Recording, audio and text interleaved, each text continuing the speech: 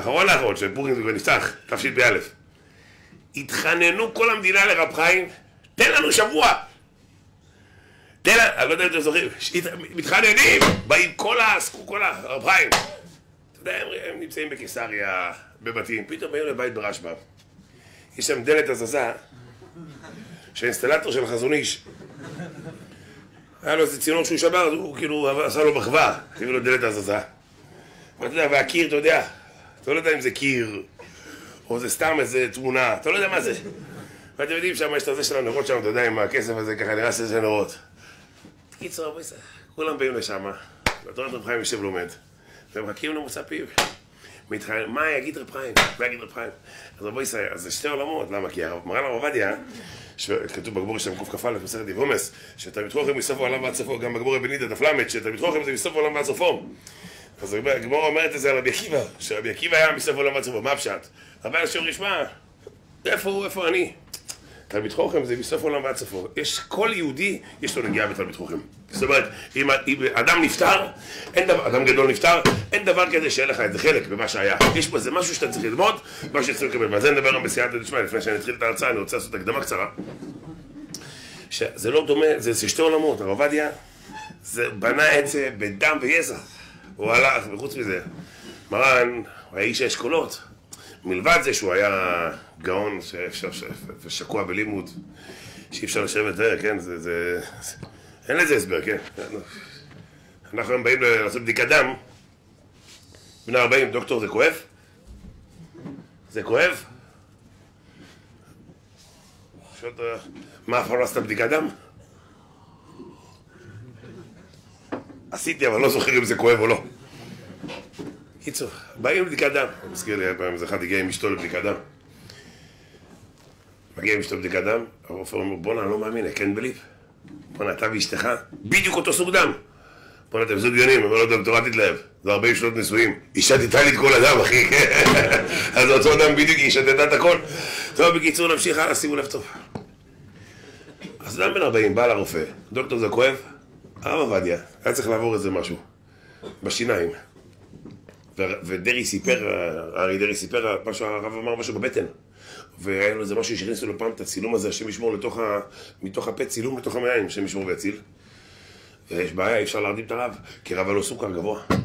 אי אפשר להרדים את הרב. הרב, הרב אוכל מלא דברים מתוקים. והאריך ימים.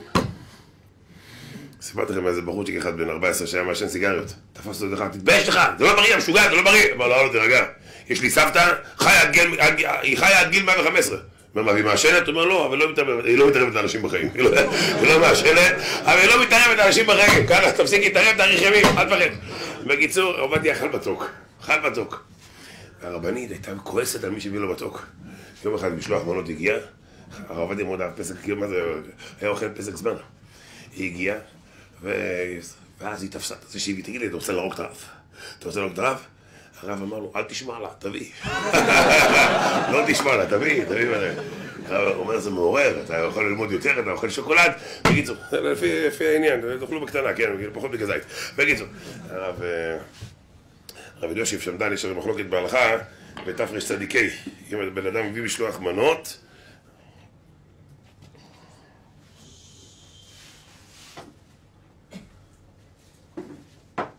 לאדם שלא אוכל סוכר. הביא לו משלוח מנות, פסק זמן, מקופלת, כל מיני דברים כאלה. האם יוצא או לא יוצא. אז הרב, הרב כותב שיכול להביא את זה מישהו אחר, אבל יש סברה אחרת.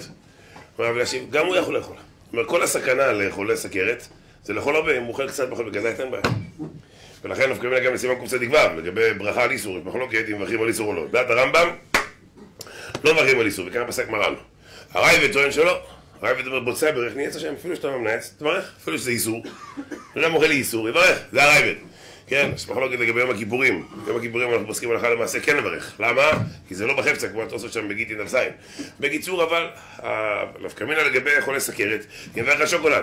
אבל יש ברכה ראשונה ודאי כן. ברכה אחרונה יש לדון, כי ברכה אחרונה זה כבר, אם הוא אכל ברכה אחרונה, אז הוא אכל יותר מכזית, זה כבר שיעור, זה מזיק. יכול להיות שכאן זה נקרא בוצע ברך נעץ השם, כי הוא סיכן את עצמו. בקיצור, רבי ישראל המשיך הלאה. מה שלא יהיה. הלכה למעשה מברך, כן, גם שהוא סיכן את עצמו, כי עוד פעם, הרופאים זה הכל זה השערות וכולי, צריכים לשמור על הכללים, אבל מברך. טוב, בקיצור, נמשיך הלאה. אז הרב, אני חוזר שוב פעם למרן הרב עובדיה, כל מה שהיה לו, כל השקיעות שלו בלימוד, לעשות, להיכנס, לעשות בלי הרדמה כי יש לו סוכר, אז אומרים לרופא, טוב, אנחנו עוד... אומר לה, אומר לה, ארי דרעי סיפר, מרון אמר לי ללכת לבית חולים, תביא לי גמרא משם. אומר, נראה לי שהבאתי עבודה זרה, מסכת עבודה זרה, הביא לרב, הרב פותח עבודה זרה, אומר לרופא, מאז שאני פותח את הספר, חמש דקות תתחיל. הרב פותח את הספר, מתחיל. אחרי חמש דקות הרופא מתחיל. קיצור, דרעי אמר, לא יכולתי לעמוד כי אמרו לי שזה צרחות, לעבור כזאת בדיקה עם כזה פולשני, שאני יודע מצרות, ובלי הרדמה, בכלל. אומר, ואנחנו מסתכלים מהחלון שם, והכל רגיל, אני רואה את הרב לומד, והכניסו לו בתוך הגוף דברים, ויושב לומד. פחד פרדים. אומר, הרופא סיים, העירו את הרב, אז הרב אומר לרופא, נו, בטלן, אין, אין זמן, תעשה, אמרו לו, הרב. אחורי, אפטר, אחורי. רבותיי, איך אפשר להיות כזה שקוע בלימוד? שאתה מנהל את כל העולם, חצי עולם בן אדם ניהל. מנהל את כל העולם! רבותיי, זה, זה מרן הרב עובדיה. זה, זה משהו איש אשכולות, גם דרשן. אז אני שמעתי את ה... אנחנו עושים מנסיעות. שומעים הרבה שירים, הרבה דברים, ככה לפעמים אני צריך בטישים, להכניס שירים חדשים, אתה יודע, שומע פה נפתלי קמפק, בשביל להכניס דברים ככה, שאני אהיה מעודכן גם בז'אנר האחרון, להיות מעודכן.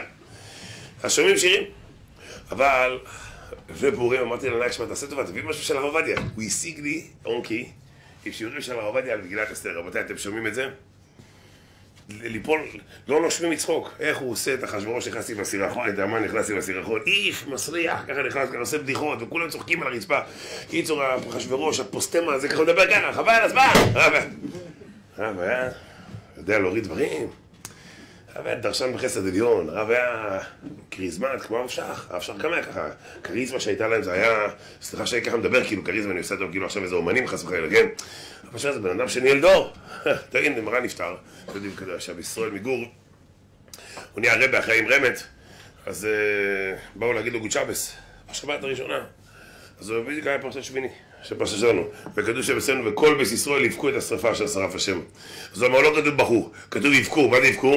אומר לעתיד לבוא. הוא אומר שהרב נפטר עדיין לא קוטעים, עוברים כמה חודשים וכמה שנים, ואז אתה קולט חביבי שצריכים לבכות. אומר רב ישראל יבכו, לא בכו, כן? יבכו את השרפה.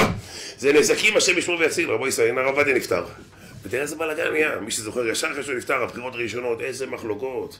איך אמר הרב דוד יוסף, שניים אורזים במרן. זה אומר כולו שלי, זה אומר כולו שלי. זה אומר אני מצאתי בכולו שלי, זה אומר אני מצאתי בכולו שלי. ויש לנו קופסה שחורה עם תורת ישראל, וכל אחד ואחד יש לו את הנקודה שלו. מה עושים? אם מרן היה חמש דקות קם מהקבר, אומר מחילה חבר'ה, סדרו דיינים, אני פה, נגמר.